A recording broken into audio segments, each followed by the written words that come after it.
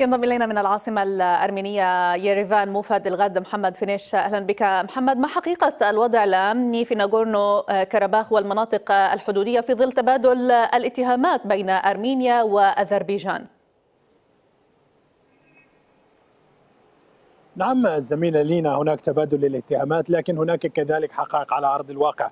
هناك قصف لا يزال مستمر على إقليم ناغورو كاراباغ من من طرف سلاح الجو الأذربيجاني المدعوم من تركيا. المدنيين في حالة نزوح كبيرة جدا من إقليم ناغورو كاراباغ خاصة نتحدث عن مدينة ستيبانا جريت وكذلك مدينة شوشي المستشفيات هنا في مدينة أو في العاصمة ييريفان.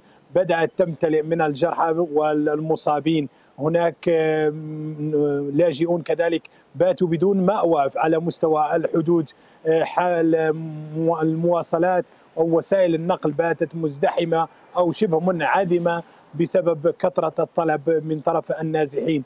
أذربيجان رسميا قالت أنها لن تتراجع عن القصف إلا بعد أن ترفع أرمينيا يدها عن الإقليم بحد تعبير أذربيجان التي قالت أن أرمينيا ساهمت في قصف قاعدة عسكرية جوية بمدينة جينجا.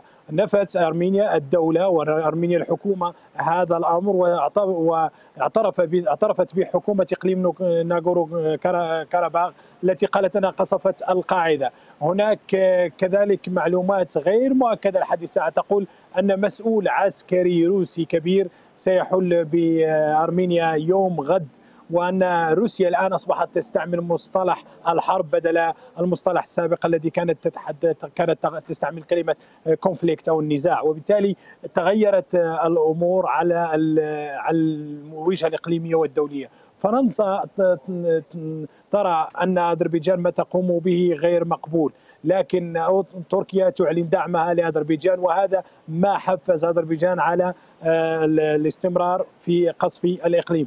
كذلك قالت أذربيجان أن بعض المحلات التجارية تم قصفها في مدينة جينجا. لم نتأكد من هذا الأمر بعد لكن بحسب تعبيرهم قالوا أنه تم قصف مركز تجاري يوجد في مدينة كينجا وهناك تهديدات من أذربيجان بأنها ستقصف مدن في أرمينيا. هناك تأهب هناك حالة من الاستعداد. الأعلام الأرمينية ترفع الآن في جميع المنازل. هذا العلم الذي تشاهدونه خلفي هو علم إقليم ناغارو كاراباغ أو ما يسمى بجمهورية أرستا بدأ يرفع نعم. كذلك هنا في كل أماكن في أرمينيا. هناك على على مستوى النقل إلى إلى ساحة الحرب. أغلب الشباب الأرميني بدأ يتوجه إلى الخطوط الأمامية من الحرب. نعم محمد فينيش مفادنا.